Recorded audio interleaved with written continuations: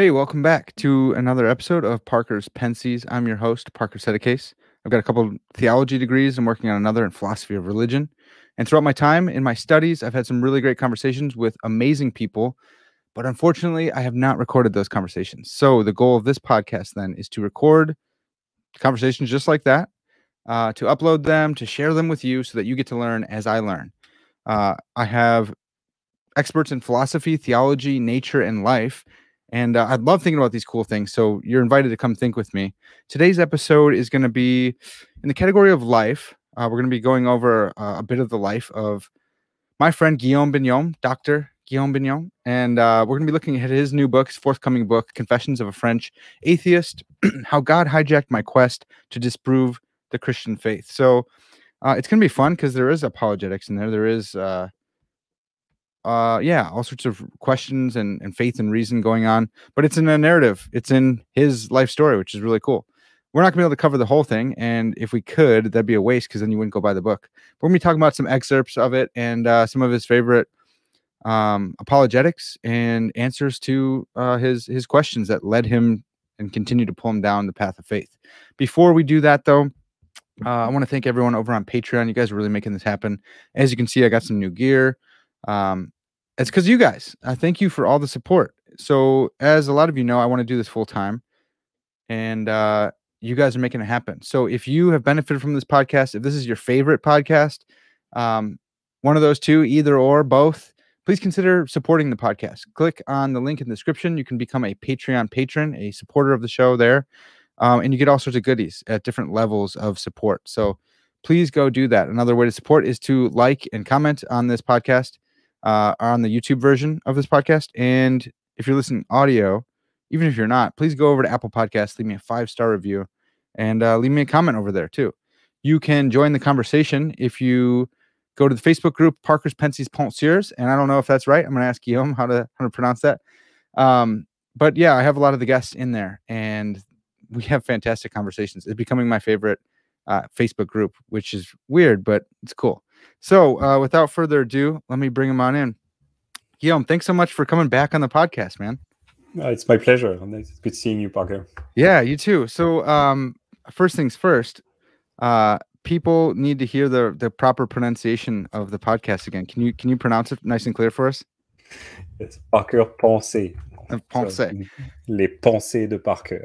It's even better if you do the full thing in French. Les That's pensées fantastic. de Pascal, les pensées de Parker. That's good. Uh, so pensée, pensée, right? Yes. Les pensées. Um, les pensées.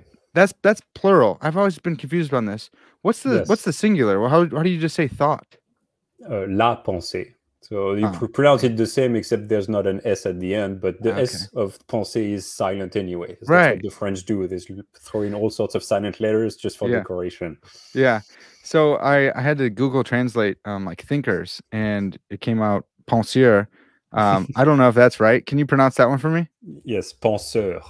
Ah, Yeah. penseur. Okay. Yes, penseur. Dang it. Le Oh, man. Le Yeah, penseur is that famous uh, uh, sculpture by Rodin, uh, the the thinker, you know. Yeah, yeah, uh, right. Le, le penseur de Rodin.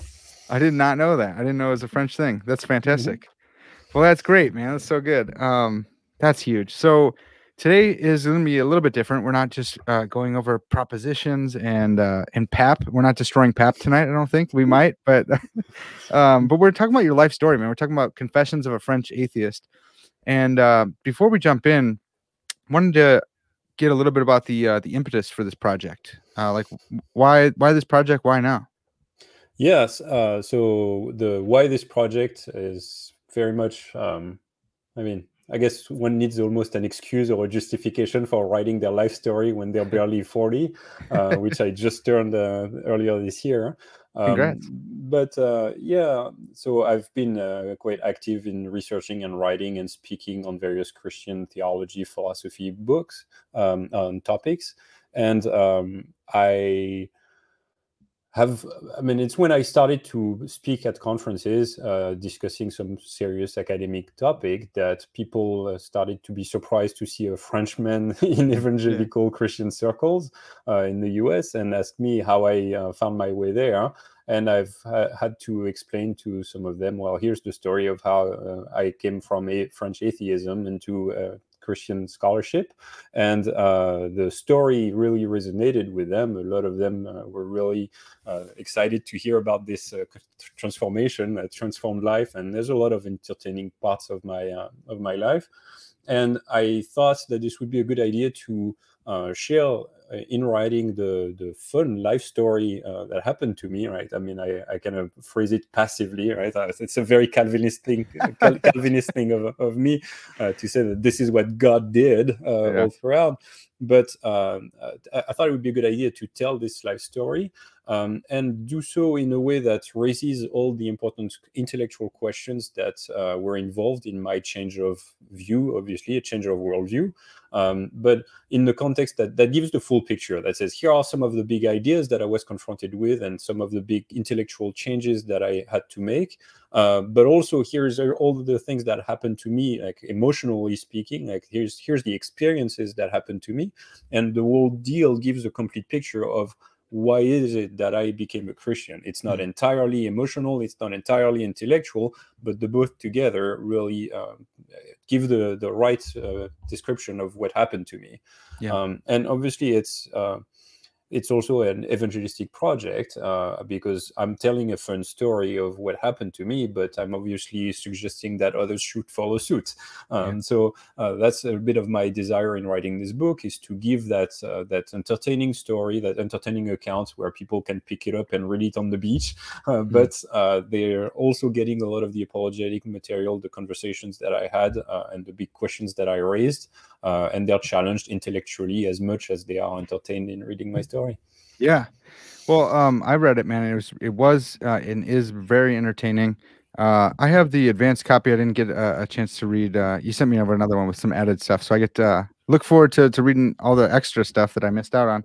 Um, uh, just a quick question, man, and, and maybe you don't know this, but we are surprised to us Americans and and maybe even the Brits to hear your French accent and and why is that surprising to hear about a French Calvinist uh, philosophical theologian? Like, what? Any idea? Like, why? What? What's the state of Christianity in France? Do you? I mean, uh, do you? Uh, yeah. So. I, I, can give you a little bit of my anecdotal, uh, like an, anecdotal uh, experience. Yeah. Um, for what I saw uh, surrounding me, and that's consistent with what you're describing. That it mm-hmm. would be so, really surprising because um, I grew up uh, in an environment that was uh, religious, so it was uh, nominally Catholic, which means that we did go to mass and we did go through the religious rituals, um, but really didn't seem to be believing it very uh, meaningfully. Uh, and so that's that's why when I was old enough to tell my parents that I didn't believe any of this, I just stopped practicing, and it was not a huge deal. Like they didn't really see this as uh, the world falling apart or anything. It's just like, okay, well, they're not doing it anymore, and that's it. And my life as an atheist was not very different than the uh, childhood I had growing up uh, on the church pews. Um, so that environment, uh, again, maybe I'm committing the mistake of projecting on everybody else what sure. was my experience, but it seems like I was really not the only one. And a lot of people in my generation grew up with uh, practicing Catholic parents in France, uh, but not a real expression of any sort of deep life commitment that changes the way you live. Uh, it's a little bit, you know, a bit tradition, maybe a little bit of superstition. Um, and um, when you shake it off when in young adulthood, you just don't turn back and you're an atheist, uh, agnostic, or however people might uh, define themselves, just non-religious. Um, and it seems like that has been very common on my generation. So mm. um, that would explain why there's not all that many folks who not only still practice uh, any sort of religious faith, but also would have an evangelical, very deep, meaningful uh, commitment to the truthfulness of Scripture, to the, an, important uh, life-giving relationship with Jesus, uh, those sorts of things that we think of the pillars of evangelicalism. Yeah. Um, that's that's not really uh, easy to find uh, in France. So that, that's kind of my anecdotal experience and surroundings. But then um, there's maybe a little bit more of an academic answer uh, to that question of why, you know, like when you think of, well, you, you didn't just say I'm a Christian, you say, well, I'm a Calvinist. Well, when you think of Calvin, I mean, yeah. there's a strong historical background for French uh, theologians and Reformed theologians uh, with Calvin. But there, I think that some of the history of the wars of religion explain a little bit. Like whatever uh, remnant of Protestants might have been in France were simply just massacred and uh, fled the country. Um, so uh, post the Reformation, this is the sad reality that uh, if you find a Protestant in France, he might have been suicidal. You know, uh, yeah. so uh, some some of those. So it's not to say that everyone left, but the so-called Huguenots that uh, so abundantly came to the U.S. and other countries fled France, uh, and so that explains again the why the ratio of Protestants uh, historically might have been lower than you would expect. Yeah. Well, so uh, I took a class on Calvin at TEDS, and mm. Dr. Scott Manetsch taught that class, and we got to learn about Calvin's all his um his secret missionary. Uh, uh, he he sent a bunch of missionaries back into France, and uh, and this really cool thing happening. And I thought, man, dude, Guillaume is like he's coming full circle. Like Calvin would be proud, and then I would remember like, oh, but Guillaume's a Baptist, and, and Calvin wouldn't be that proud. yeah, he might he might not have loved me on on that. Uh, I thought the same thing. Yeah, he, same same thing about me. But uh, well, when I think about uh, your your story here, and you say you know you just kind of I don't know you you shook off your childhood faith, if you can even call it faith, uh, your childhood religion. You shook it off. Maybe you just kind of walked out of it. Was was there anything that led to that? Was there any like did you discover the problem of evil, or was it kind of just like this doesn't mean much to me, so I'm just going to stop identifying this way. Uh, yeah, no, uh, intellectually speaking, there was never really a, a, strong belief that there was a creator, that the, that the miracles were real, or that uh, there was anything uh, good in the Bible. So um, I didn't have to shake that off. It was mm. just never there. Um, and we were just practicing and simply following along with what uh, our parents had been doing. Um, so when I uh, shook it off, it was like when I stopped, what, what led to that is simply that growing up a little bit more, mm. we hmm. started to have more permissions, and our parents simply decided to leave us the choice of what to do. And I have an older brother. Uh, I have a, an older brother and a younger sister. And my older brother uh, just went ahead and said, I, am not interested. I'm not going anymore." And I followed suit. I figured mm. this is safe. You know, he, he's yeah. opening the way. This is safe. Let me follow suit, and that's good. We now can uh, sleep in on Sunday morning and watch cartoons. So yeah. that's uh, that, that was really not not a huge uh, uh, life shift when that happened. Yeah. But but i did grow uh, to like i, I did um, develop a certain amount of bitterness and sarcasm uh, like uh, really um, uh, looking down on religion as a result. So it's, mm. it wasn't like just uh, impassable like oh you know like uh, well let's just shift lives and that's okay. Um, it wasn't a huge change in belief. It was a change in practice and also came with resentment of have, having the feeling that i wasted all of this time on the church pews and that people um, absorbed by the french culture uh, i mean i just absorbed the, the presuppositions of my environment, which was that if you really are religious, if you really believe that God exists, you must be extremely superstitious and probably didn't really think about it too well. So yeah. uh, there was a little bit of of that sort of sentiment, which you can find from the Enlightenment onwards in uh, full strength in the, in the beautiful country that is France.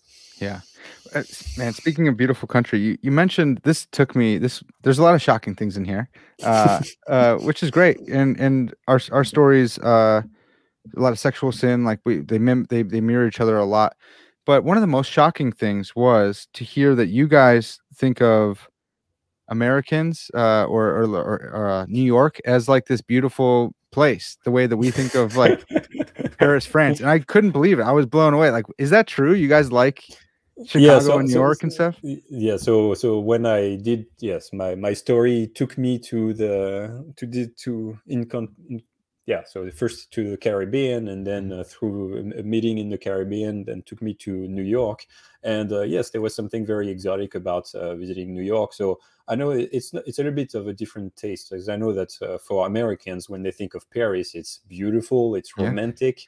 Yeah. Uh, but uh, so the French don't tend to think of uh, New York as necessarily beautiful, so not necessarily romantic either. But it's more of the like it's otherworldly. All the hmm. skyscrapers mm. and the lights and the noise and the shows at, at every corner.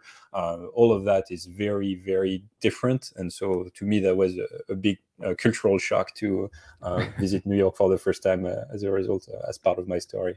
Okay, and when it comes to Paris, though, do do French folks do you guys also think of Paris as being romantic and stuff, or is it just like this is another city for us? Yeah, no, I mean, I, I grew up next to it, and uh, it's not. I mean, I guess we we watch enough American movies that we realize that, that, people think of it as uh, as uh, romantic. Uh, but no, this is just where I grew up, and I I would uh, go to. I went to college in Paris itself, so I would mm-hmm. commute there every day, and uh, and yeah, I mean, there's some some uh, aspects of uh, beauty of the buildings and some of the, the nice parks uh, that does strike you as beautiful, but it's it's home, so it's less exotic. Yeah, yeah, that's wild. Um, well, I wanted to talk. So so um, we can't follow the full story, and like I said, folks, we're not going to you know spoil the whole thing, and we couldn't. Yeah, and there's a lot in here to. It would be really hard to spoil it, anyways. But um, you you succeeded in a lot of things, including volleyball, which was cool uh, thinking through that. But I figured you would pick up on the sports. Yeah, got to man. Yeah, you started lifting weights. I'm like, let's go. This is fantastic. Uh, but but you mentioned at one point that you wrote your grandfather uh, I can't say it. Daddy, like, yeah, can yes, you say? Yeah. Can you say yeah, it for me? So, I mean, it is the word daddy uh, okay. in, in English, but uh, we would pronounce it in French, so daddy, okay. simply because he he grew up with uh, an English uh, uh, mother, so uh, he, ah. he, he was he always identified a bit in, in English, so that's why the, the term was used in English for him. But okay, okay, but obviously pronounced very Frenchly. yeah, that makes sense. That makes sense. So you wrote to him about about happiness. I, I think you wrote him asking him what is happiness. Is that right? Yeah, that's right. Yeah, so that's that's kind of one of the first times where after having been an atheist and uh, lived my life in pursuit of my own uh, success and happiness in a number of avenues. Uh, so sports was one of them. I was playing in competition. Uh, then I was playing music as well and started to play in a band and uh, uh, write our own music, play on on stage. Really having fun and getting some moderate amounts of success there uh, having success in uh, in in school as well, uh, that I would get a good job. So all the avenues in which I was trying to um, get success and uh, happiness and try to find meaning um, were working out really well. And uh, this is the first time where I was actually challenged to reflect a little bit on uh, life itself um, and wondering, okay, well, I'm getting all my, like, I'm, I'm succeeding in all the goals that I had set for myself. I feel like I have accomplished my childhood dreams. Uh, and, you know, it was pleasant and I enjoyed uh, much of that. But uh, there was a part of me that was wondering, well, is that all there is? Like, mm. I'm, I'm climbing up this mountain, I, I'm reaching it, and no, it's it's so it's okay. It's good. I'm not gonna say it's bad, right. but uh, it's like it, there was a, a, a sense of uh, a longing for for fulfillment, and I wondered like, is this really like I'm I'm running after happiness? Am I catching it? Mm. Um, and and if I catch it, what do I do with it? And so um, I was a bit uh, interested to know what people would have uh, thought when they accomplished their life goals like this and I did write to my grandfather because uh, it was, and I guess is still my uh, pinnacle for somebody who's lived a very full life and has accomplished a lot of very impressive things. And I wanted to um, to ask him, like, you know, what's happiness to you? Like, what, what's what's your thought? And uh, can you help me figure out what I'm looking for? And what, you know, with everything that you've accomplished, do you feel like you're happy? Uh, mm. And if so, do you have any keys, you know, for me, for a, a traveler uh, on that same journey, but a, a few uh, a few years be behind you? Well, so this this is like for all the uh, Americans listening, this is like uh, you're you're walking right into all of our stereotypes. Like, oh, there's the existential angst of the Frenchman writing about his grandfather about happiness. We're we're you know our great thing is uh, pragmatic philosophy. That's our stuff. So we're just like, oh, whatever, kid, just keep going. You know, like don't don't think so much. I, I think that's hilarious. But um, can you just tell us a little bit about him? There's like all these cool stats of of. Uh, can you characterize uh, your grandfather for us? He's an awesome guy. Yes, I mean he's the, the reason I, I wrote him is because I have tremendous amounts of respect. Uh, he's a very um, off the charts kind of a guy. Uh, mm. For so he's currently 106. Uh, he's still alive. He is still doing really well, and he's sharp as a tack. Mm. Uh, and he's got uh, just a, a, number of very unusual uh, skills. So he's got a photographic memory so that he is able to recite poetry that he learned when he was in grade school. Uh, like he's now that he's over hundred years, uh, you would think that the memory that he takes. But yeah, when was, we were little, he would just read a book and just remember everything in it. Uh, it's just unbelievable. He he graduated from the most uh, famous engineering school in France, the most prestigious, uh, called uh, École Polytechnique. Mm. Um, and then during his life, he, I mean, he first of all he was he he he was alive during both world wars right so put, put, things in perspective in terms of time yeah. uh, and in the second uh, world war uh, he was in the military he was uh, in uh, in north africa and uh, was in charge of securing perimeters that were just as big as, as france itself hmm. um, he um, he's then after the war he started working in the industry uh, and he was extremely successful. Uh, he was uh, working in chemistry worked in industrial um, ovens de designing the processes for industrial ovens to treat various gases um, and then he worked in um, uh, nuclear chemistry, uh, nuclear physics. Wow. So he was one of the, uh, he was the lead engineer in charge of designing the process of uh, uranium enrichment that ultimately made France a nuclear power. So he's the one who uh, designed the nuclear power for France, basically. Um, and he speaks uh, fluently, I don't know, five, six languages, and he dabbles in six or seven more of those, yeah. um, and just speaks them fluently. And he's got through all of that had six boys uh, and uh, my father is one of them. So yeah. uh, just a, a very uh, strange unusual brilliant man with a very accomplished life and that seemed to be a right person to uh, to ask okay well with everything that you've done do would you do you feel happy? Do you feel satisfied? And do you have any tips for me? Yeah. And the problem is obviously that uh, he responded with some things that i could relate to but he also responded with uh, religious elements. He said, you know, like there are some things that are really meaningful to me, and he talked about a couple of stories from the Bible, and he talked about uh, the the privilege of uh, reciting the uh, Sermon on the Mount uh, from Jesus uh, on set on the mountain that could have been the mountain that Jesus delivered that sermon. Yeah. So he was telling those stories here in his response, and for me, it was like, eh, gag me. I, I don't want any religious beliefs here. I, I want some meaning and happiness. Um, and so that's kind of a, a, a first uh, engagement where I was confronted with the idea that, uh, hey, religion is actually in the middle of people's answers when mm. you ask them about the meaning of life. Yeah. Shocking.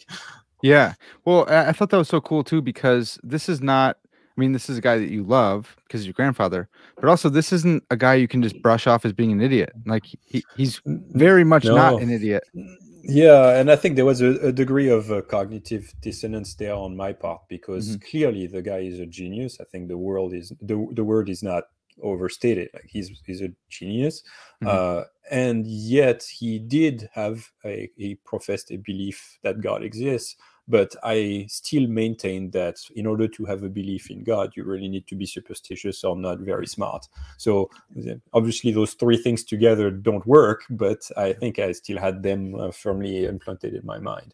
Yeah. Um, and in my defense, uh, I, I mean, he was clearly, uh, honestly, I think, believing and uh, practicing, but um, it didn't necessarily seem to me like um, those religious beliefs were at the center of his life or and practice that that they didn't educate a whole lot of what he was doing. I, mm. that, that was just my perception. So okay. um, I, I, didn't necessarily get confronted there but just, that was a, a, first glimpse of uh, people starting to talk about religion and jesus uh, in the center of the quest for meaning. And, and that's something that i wasn't all that comfortable about at the time.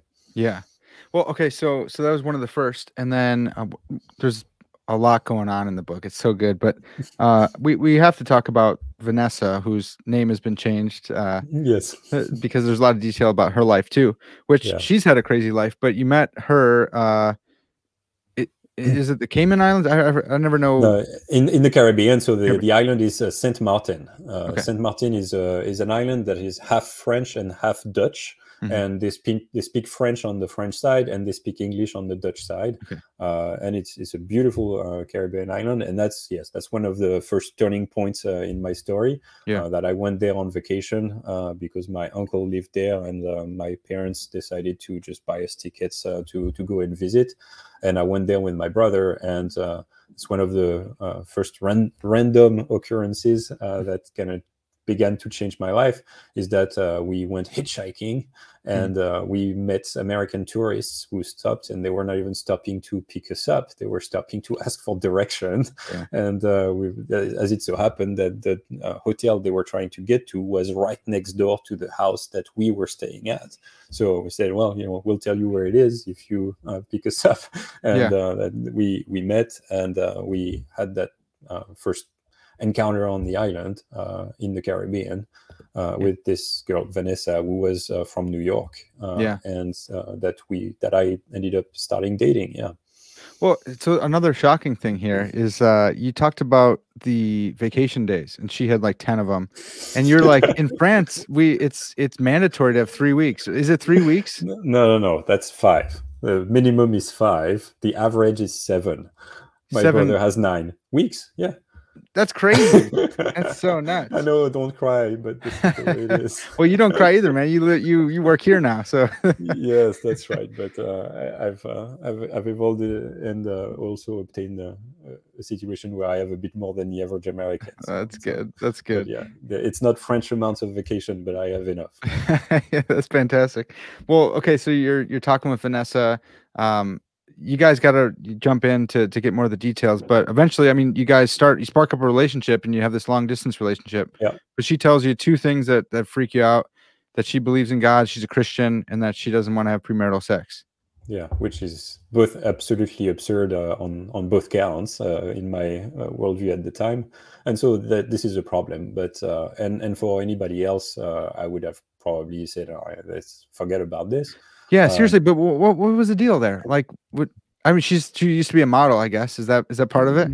That's that's a big part of it. okay. she was she was a model and actress, and uh, it was very exotic, right? There was yeah. this uh, meeting on the other side of the world in the Caribbean, uh, randomly with uh, hitchhiking. I mean, this is the stuff of movies, and uh, my uh, little French romantic heart was like, all right, let's let's press through and let's let's crack through the defenses and make this happen. Mm-hmm. And also the fact that there's barriers. I mean, it's again very romantic, right? it's like okay, the obstacle, like let's go and slay the dragon, and then right, right, totally uh, so there was a bit of that, uh, and I, I, figured, look, uh, I'm gonna just convince her that all of this is nonsense, and we'll be happy, and that that will work out in the end.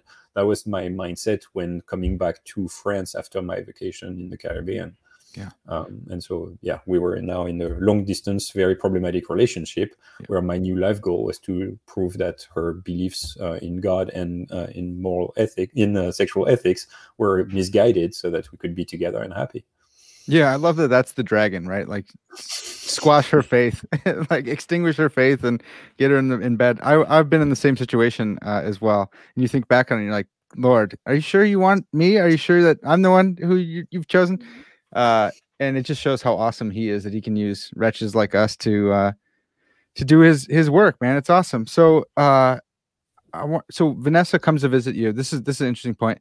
Um, the whole thing's interesting, but she looks up a church. Uh, one of her friends looks up a church uh, for you guys to go to. Did she, did she go to the church when, when she was there? I can't remember. no, she, she, she didn't, which is really the interesting part. So uh, yeah. she had been, and that was to me just one of the concerning things. The first time she came to France, that she had to be given a, an address of the yeah. church. Like, well, I'm obviously not gonna go. What right. is she gonna do? Like waste uh, half a day of her vacation with me to so that she could go to a church that she's never been to? That seems to me like over the top religious. So red alert, you know, red flags.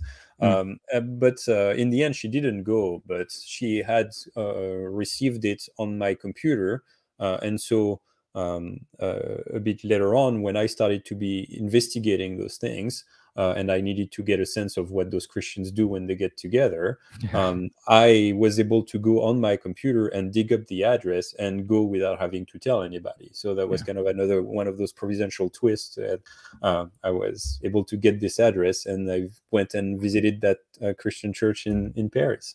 And, um, and it was a evangelical Protestant church, right? I, I don't know the the denominations over there, but yeah, yeah, that was an evangelical church, uh, absolutely. So, and to me, that was a brand novelty. I'd never seen right. any such thing. So I figured, okay, well, I need to understand what those weirdo Christians do when they get together, and that was really part of my investigation there. Yeah. Well, another uh, like providential turn is uh, they had good music there, and you were a musician. You learned how to play. You were in a yeah. band. You you played yeah, yeah. Uh, piano, and uh, and so they had good music, which is another another great thing. I love when Christians have good music. Yeah, there, there was lots of different. Uh, I mean, again, you, you read the story and you'll see all of those improbabilities piling up and making yeah. you smile at what kind of story God is writing, almost showing off. Mm. Um, the, the music is one piece. The, the the very fact that I was even available on a Sunday morning to even attend the church, because at the time I was still playing in nationals uh, in volleyball. So mm-hmm. every weekend I would travel around the country to play games, and so not play not go to church on sunday. Right. um, and uh, yet somehow god made it happen with a very unexplainable injury. Uh, so mm-hmm. that again against my will I, I, found myself available and needed to visit that church. Um, and yes i was impressed by the music uh, but obviously i couldn't sing because there was religious lyrics so yeah. uh, it was not something i could do. Uh, but yes that that uh, will visit at the church was when another one of those turning points where I discovered okay this is what those christians do. And then there's another one of those uh, very strange events that happened which is that as i was trying to escape the church uh, i just got caught uh, on the doorstep with a very strange wave of chill in my uh, stomach going up in my chest and grabbing me by the throat uh, and i was frozen on the doorstep trying to escape and uh, heard myself thinking this is ridiculous. I have to figure this out. And i uh, turn turn around, close the door, and uh, walk straight to the head pastor and uh, introduce myself. Yeah. that's so, so, awesome. And and that's that's Robert, right? Yes, that's right. So that's that's Robert, who is an American pastor, uh, but who had been a missionary to France uh, for many years uh, and uh, still is in France. So he's now lived in France longer than I have. Oh, wow! but uh, yes, he was a, an American pastor, uh, pastoring a, a, French church in yeah. in Paris. Well, Guillaume, uh, just taking the excursus off of off of the story. Uh, this is something that always is curious to me. So, so you you lifted weights. Your whole life was like chasing girls. That that was my story as well. Uh, then you go into this Christian church, and yeah, they got cool music and stuff, but Christians are still pretty weird. Um, do you maybe maybe we have to cut this if if it's too revealing. Do you ever do you ever still wrestle with the weirdness of of like corny Christianity at all? Do you, does that ever mess with you? Coming from a non-church background, non-evangelical, you didn't grow up learning how to do the dance. Does it ever still? Do you ever still wrestle with cheesiness or no? Uh, I mean, yes, I, I see what you're talking about, and I don't wrestle with it as much as I'm trying to live through it. Mm. Uh, but at, at, the time, I wasn't at all uh, troubled by this because the um, the church didn't. I wouldn't describe them as as weird. Uh, okay. I mean, it, it felt weird to me because it was just very new.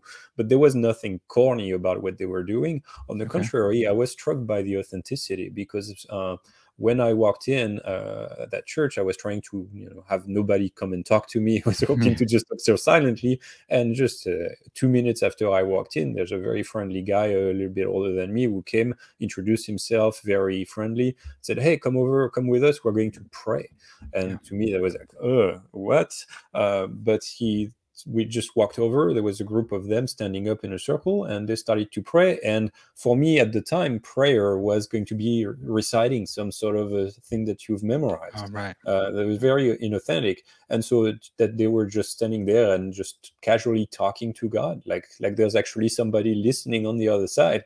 Uh, that was very unusual but ra- rather authentic uh, rather than corny. So uh, yeah. to me, that that struck me as uh, an interesting piece. Like at least, hey, they really believe what they're saying here.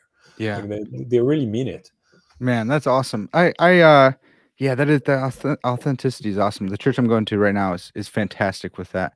Uh, I, I so I work as a as a campus missionary, uh, uh, with athletes in action, and uh, usually I'm on alert for the people that I bring. If I'm bringing someone who's not a Christian, they're interested in coming to church, and I'm like, dude, please let nothing go, you know, weird today. And one of the worst times I, I brought this dude in, we were talking about Jordan Peterson for like like three or four months, uh, and, and I was trying to you know sucker him in, and so he, he comes to church with me, and one of the the kids from Moody, uh, Moody undergrad student, he's at the door and he just goes, Greetings and Lord Jesus. And I was like, dude, why can't you just greet us? You don't have to say greetings. Dang it. And I looked over and I was way more uncomfortable than the guy I brought. He didn't he didn't hit him at all. And he told me about how, how what, what a great time, even though I was catching like I thought this was cheesy and corny.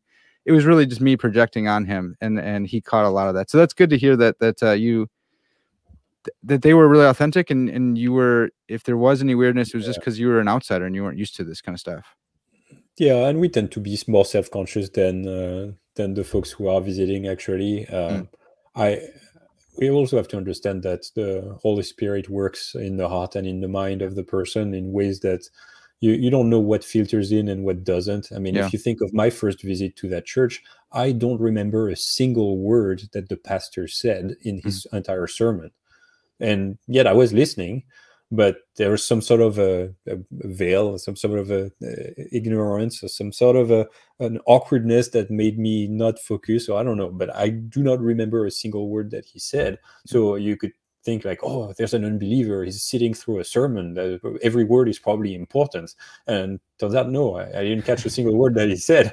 but what, what was important is that I dis- I got to see people. I got to see the authenticity of their prayers. Uh, I got to see the music of the worship. And I had this strange experience when I was trying to escape. And you can't manufacture that. Yeah. so you, you, can be self-conscious all you want. Uh, it's the Holy Spirit who really drives the, the whole show. So um, we make ourselves available. We certainly aim for authenticity, but I don't think we need to be too self-conscious about yeah. uh, about greetings in the Lord Jesus. That's good. thanks, thanks. Um, I wish I would have known that before. So, uh, so you you set out to disprove Christianity because, uh, well, to disprove specifically Vanessa's Christianity, and uh, she called you out one time because she's like, "Hey, you don't even know what I believe," and you're like, "Yeah, that's right. Okay." So then you got these chills, and you're like, "What what's going on with this?" What what was it about Robert that made you keep coming back? Like why did you did you trust him? Was he authentic? Like why would you keep going back? You, you started meeting with him regularly. Seems like yeah, regularly. That, yeah, that's that's right. Because when I introduce myself and I say, "All right, uh, you believe in God? Yes. How does that work? Well, let's let's make an appointment and let's talk about it." And I went there and I had my questions. Basically, I was trying to understand like how how does he believe those things? Uh, and he seemed to be intelligent. Uh, he was expressing himself very well. He was educated. He had the, the, the degree in psychology, I believe, um, and he um, didn't seem to be compensating for some uh, emotional imbalance of any sort. Uh, yeah. He just was a very just stand-up guy, uh, but he strongly believed that uh, God exists and that Jesus was raised from the dead. And so I, I needed to. I was confronted with this very strangely, and uh, I needed to understand. Obviously, I needed to try to understand what he believes to to get a sense of what she believed, um, and. Um, I was trying to probe it a little bit into understanding how how do you claim to know those things? Uh, what's your life experience? Uh, what are some of the beliefs that you actually have?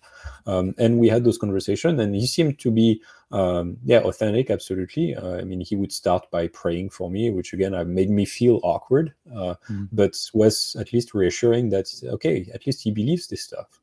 Um, and so that that was a little bit of the mix that I saw in Robert and uh, he was competent enough to answer my questions and provide coherent answers within his own worldview. Um, and to just refer biblically to okay this is what we believe and here's why. And so i wouldn't say that he was engaging in positive apologetics like giving me uh, philosophical arguments for god's yeah. existence or the reliability of the bible or such things but he was very clear in expressing the the christian faith um, and answering my questions uh, when i started to uh, really get interested into okay what is it? What what is your deal guys uh, give me the sales speech. Yeah. um, that, that, that he was very effective there yeah well so then how did uh mm. how did you move from being well curious because you wanted to disprove to then starting to be like hey i want to i think i believe this Yeah, so it, it was a very uh, fine balancing act because uh, there was parts of me that uh, wanted this to not be true, obviously. Uh, but I figured if I'm going to uh, objectively uh, investigate those things, I need to force myself to be a bit more open than I want to be. Mm. and then at the same time, I was also aware that um, if I was going to fail to convince Vanessa, and I still wanted to be with her, there might be a part of me that now would want to start to see that this is true as well. Mm. And it was clear to me that both of those were present and uh, or at least potentially present, but they didn't cancel out each other. so, so uh, I still needed to be very clear in keeping all of those considerations really off the table in my assessment of this. Could this uh, possibly be true? Um, and so the that, that that's the emotional aspect and the okay keeping the biases out of that and then there's a number of intellectual um, uh, expectations that i had uh, that needed to be met uh, so i was figuring out that this is a number of knowledge claims that christians are making right they're mm-hmm. saying that there is a god well you know that's that's a big deal like if that's true there's lots of things that follow from that um, and the world is going to be different right uh, then they are making claims about what happened to Jesus, and mm-hmm. they're making claims about even their current experience. You know, like this is Christianity is true today, right now. Uh, and what we're doing, you know, we're meeting in church. There's something supernatural about this. There's there's a number of claims that are made, um, and I wanted to probe a little bit into those and understand uh, where is this coming from and is this even reasonable mm. um, and so there's a number of intellectual shifts that needed to happen in my conversations and so several of them took place uh, as part of either my conversations with robert or my own thinking about the issues uh, for the period of several months that i would go and speak with robert um, uh, so we can get into any of those if uh, if that's uh, of interest to you. Um. But I changed my mind on, on my view of well, the Christian view of sex and marriage. That's for one. Uh, because that was a big hurdle for me, even though that's not necessarily one that's determinative of whether Christianity is true. That was an important uh, question of whether Christianity is good. Um, and there's a, a, lot of shifts that happen in my view of uh, science and knowledge like what does it take for you to know anything? Uh, there's a lot of shifts that happen in there. Um, so uh, my my expectations with respect to certainty right? Uh, how yeah. certain do i need to be about those things? Um, and uh, then also my understanding of salvation. So the message that the christians were teaching about what uh, saves a sinner uh, that's something that i made that made sense intellectually as part of my reflections um, but also that came in the context of a very strong experiential uh, encounter as well.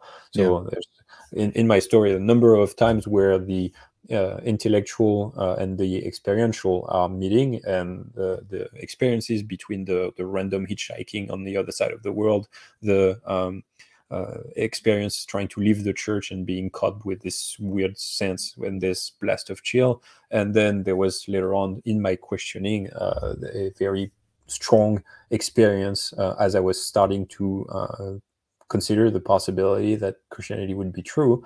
Um, I won't spoil it for the reader, but uh, some other stuff happened and really shifted in my heart at the same time that my intellect was starting to shift. Uh, on those important intellectual questions of uh, knowledge, science, miracles, uh, certainty, and uh, and and the reliability of the of the scriptures as well. So these yeah. are some of the topics that I um, reflected upon. I wouldn't say research because you imagine the folks you know, reading tons of books, but yeah. there was there was a, a, deep thinking and discussing those issues with Robert, and these are the topics that uh, that really shifted in my mind intellectually. Yeah, it's so awesome to think about Robert and the the role that God had him play in, in your life. Like, man, we need more Roberts out there. You know, it's so cool to to see his his patience with you and uh, the fact that he was someone who you felt comfortable coming back to uh, and, and, having good conversations with. Uh, just lest lest anyone think that uh, for the ladies listening, that missionary dating is like a great thing because we can look at uh, Guillaume here and say, "Look, missionary dating's great." Like that didn't work out, and uh, you're not with Vanessa any longer. Uh, you actually no, have, that's correct. Yeah, yeah, Yeah. So that that was a very instrumental piece in uh, getting my uh, finger into the the clockworks, right, and getting sucked into that that big deep question. Um, but um, yeah, I won't spoil the story. So that Yeah. the whole uh, uh, the, whole narr- narrative of how, how trying to make this work and uh, pursuing this um, that did lead me to actually uh, leave everything in France and move to the US. Um, and uh, and yes, we uh, the our relationship ended up terrible and uh, it didn't work out, and Yeah. so we broke up. And that was another uh, pivotal turning point uh, in my young Christian faith um, to figure out life. Uh, okay, like, I feel like God has dragged me out of this, Yeah. uh, has used all of that, um, and uh, now I'm there and by myself. And well, by the way, thank God it didn't work out. I mean, our relationship uh, was terrible, and uh, we were planning to get married, but that would have been a tragic mistake. So Yeah. um, that that was really working out well, and it was all, again in the grand weaving of uh, God's story there. Um, but yeah, I wouldn't. Uh, I, obviously, I, I have mixed feelings because this was very instrumental in bringing about some really good things for me. But I, I wouldn't recommend the missionary getting part of that. And uh, young, young, young Christian ladies, if you meet a, a French atheist in the Caribbean and uh, start a long distance relationship, this is probably not a great idea for your side. Yeah, seriously. Um, man, that's so good.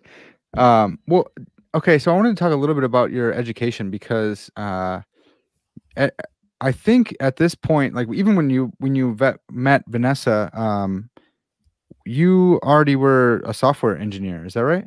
Yeah, yeah, I was an engineer, so I had finished college. Uh, I had uh, studied math, physics, and engineering science in, in college. Um, it's uh, it's it's called the Grandes Écoles in French. It's, uh, it's a little bit out. It's not the university. There's, it's like private schools on the on the side of that that you enter with uh, two years of prep work. That's called in, in a prep school. Okay. Uh, so the classe préparatoire, and then you have three years of an engineering uh, degree, and you walk out of this with a uh, engineering degree, Yeah. like a diplôme d'ingénieur. And uh, they also Everything sounds the- so much better in French. It's amazing. Yeah, Of course, it is. That's that's what you do. that's so Uh, good. I, uh, I'm sure and we have names for all that stuff. It's like a technical school. Like, uh, yeah, we we got those Yeah. too, but they don't sound like that. Yeah, not nearly. And then at the end, they all, they give you the the equivalency with the masters uh, of science in Oh, there. okay. So this is what I did. Now I did I did a fairly prestigious school, not like. Uh, like my grandfather, prestigious school. Okay. Like, he, Yeah. he did the top notch.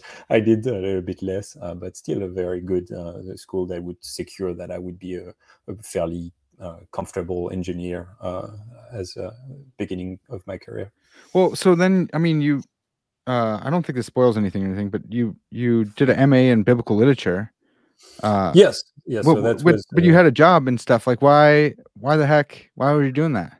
Yeah, so now we- we're still way back after the conversion uh, in New York, uh, Yeah. where um, uh, where the breakup has happened, and uh, this is where I find myself starting to explain to my family and friends uh, in France why I hadn't lost my mind. Uh, some questions starting to to come to my way, and I started to explain to them, well, look, this is what happened to me, and uh, here's what I've discovered, and here are some of the things that I've thought about and I had no idea what apologetics was at the time, but I unwittingly started to engage in that very discipline of giving answers to uh, critical questions about the Christian faith.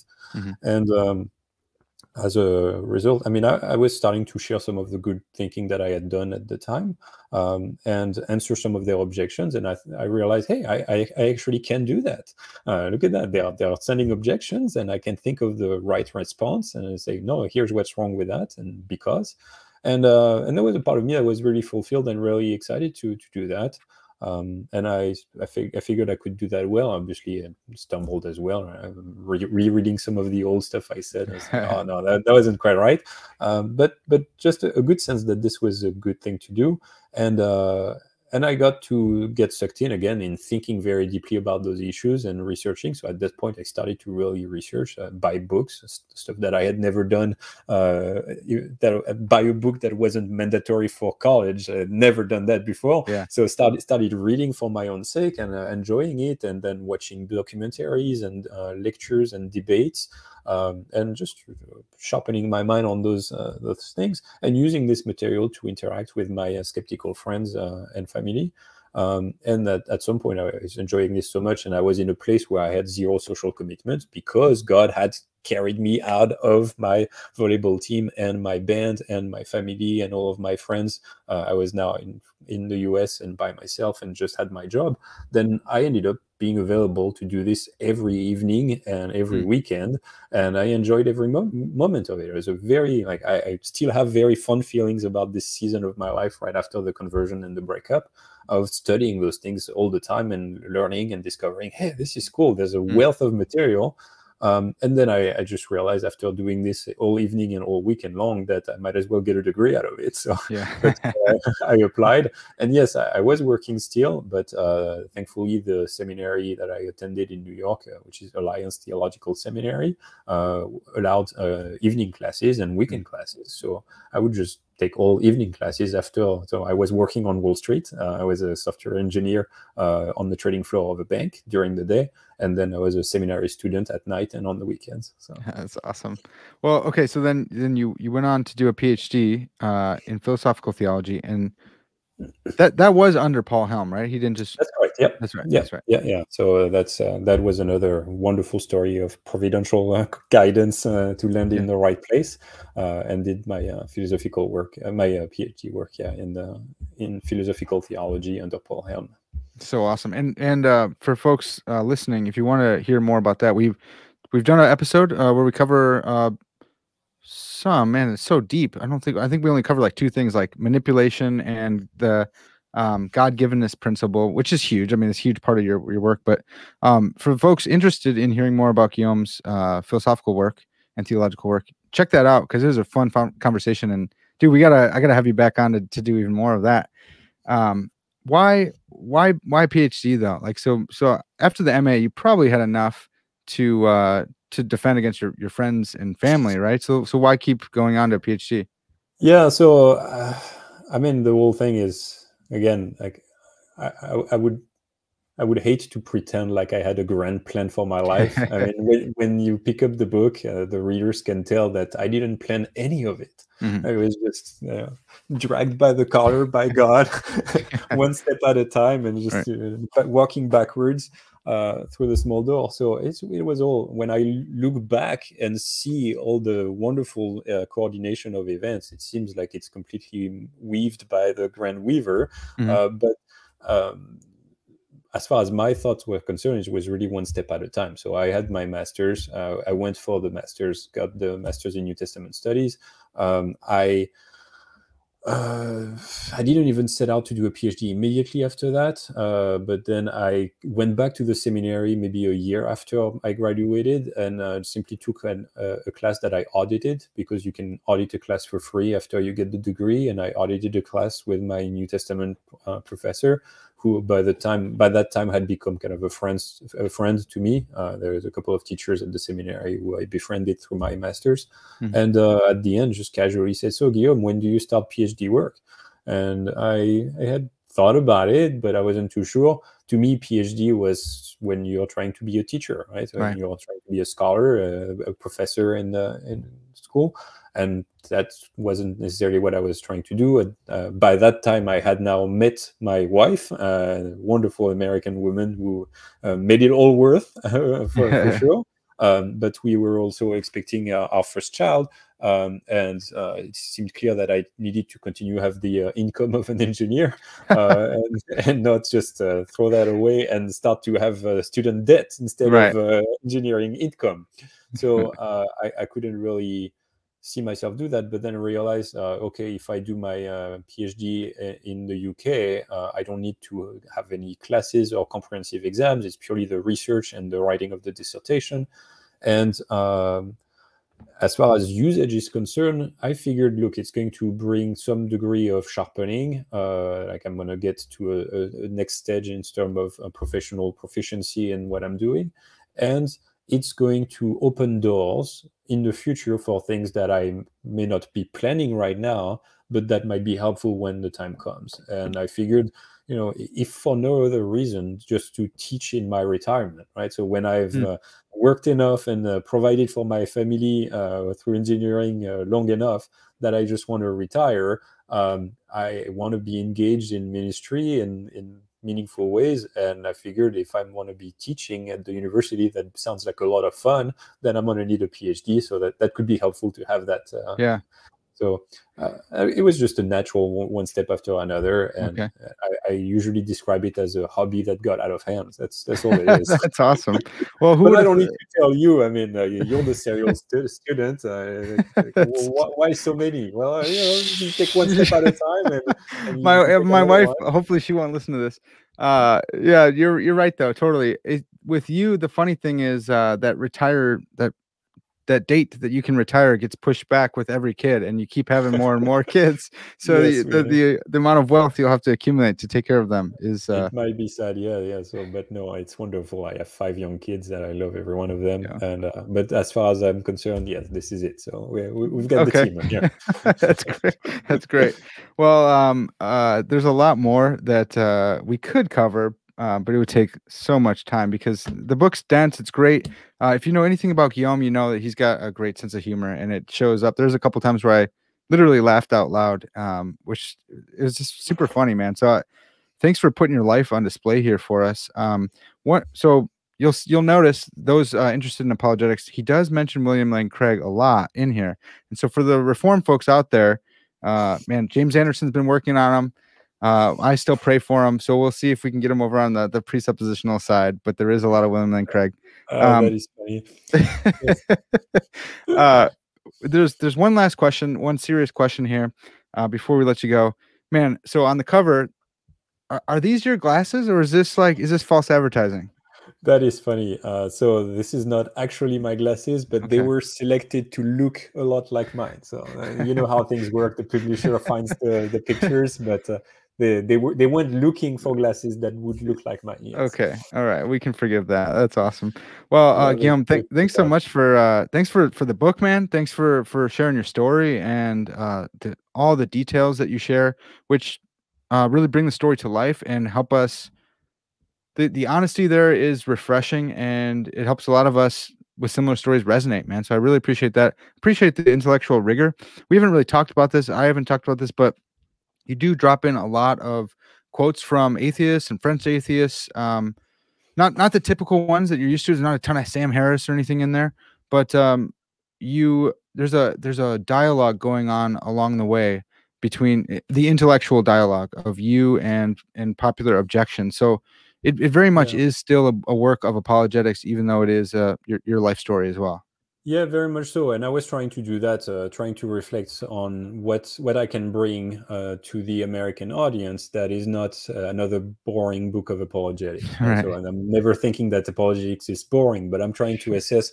Look, uh, in France, there's very little apologetic material, so any discussion of the classical arguments for God's existence is huge. In the US, the market is a little bit flooded. There's a lot of very smart people who can present those arguments maybe better than I do. Um, so uh, what I did here, as I use my conversion story to as a kind of a springboard to discuss some of the big questions that arose in terms of apologetics, I also did that in conversation with some of the uh, key atheist, French atheist philosophers and thinkers uh, in such a way that the American apologist or philosopher who is very familiar with apologetics still is going to get a little bit of an exotic uh, touch out of the, the, those parts. So I'm hoping that they get also entertained by the story. yeah. uh, but, but even the very apologetic bits should be a little bit more exotic to them because I interact with folks like Voltaire or Michel Onfray or André Comte-Sponville or Ernest Renan. And uh, one of my favorite is the Baron d'Holbach, the Baron of Holbach uh, from the Enlightenment. Mm-hmm. Very colorful, very uh, eloquent uh, French skeptics who really tell give you a piece of their minds. So I interact with those uh, colorful actors, and uh, that's what I'm hoping is entertaining to the American philosopher who's very familiar with the apologetics. Definitely. And and uh, at first I was like, how come I haven't heard of these people? And then I saw what you were doing and I was like, this is great, man. Uh, that was really cool. And and it's called Confessions. And you know, obviously you I don't know how much uh, you were even allowed to uh, to name it. I know the editors get a hold of the work and they name it whatever, but it is kind of an homage to Augustine's Confessions because it's the same thing. It's an intellectual uh, conversion story. Same thing with uh, C.S. Lewis's Surprised by Joy. So it's very much in that bioi. If you're anyone familiar with the, the bioi, it's a biography with like a specific end in mind. There's like an apologetic bioi that, that comes through. And um, this falls in line with that. It's it's fantastic, man. So I really appreciate the story, the book. Uh, thanks for coming on and sharing your time with me, man.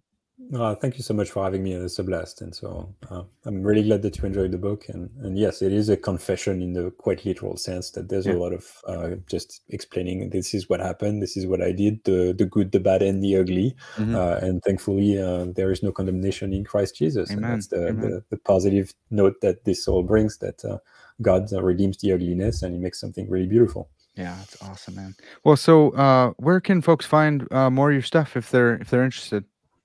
Uh, yeah, so well, obviously my books are on sale wherever they, they sell books. So the Confessions of the French Atheist is a bit of a more of a popular level, uh, accessible book with the entertaining story and popular level apologetic.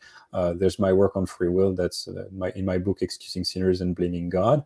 And then uh, any of my writings can or, or, lectures, they can simply Google my name if they can spell it, and then everything will will come up. So yeah there's I have a bunch of stuff on YouTube and then some of the uh, blog articles that I might have written uh, can be found if you Google my name. Awesome. Uh, and Guillaume, if if they if you ever get a chance to do an audiobook of this, that mm. would sell a billion copies because I oh, would that's, listen that's to you. Interesting question. I don't know if the the editor is going to want the French accent and the authenticity, or oh, they man, want to favor it. something that's more understandable. We'll see. Yeah, I can imagine just uh, an American swine like me reading, uh, trying to read all the French. That'd be fantastic. Well, um, folks, this has been Parker's Pensées. That's going to have to do it for us for now. Uh, Guillaume's got some other really cool stuff in the works. I hope it's still in the works, and uh, I'm hoping to uh, to talk about that in a future time. So everyone, uh, pay attention for that. Stay tuned. Go back and listen to our other episode where we talk about some more of his philosophical theology work, and uh, yeah, find him uh, elsewhere. Um, thanks for for stopping in, and if you like this video, please give it an actual like here on YouTube uh, leave me a comment or review on Apple Podcasts. That would be huge. And if you have benefited from this podcast, please consider becoming a Patreon patron.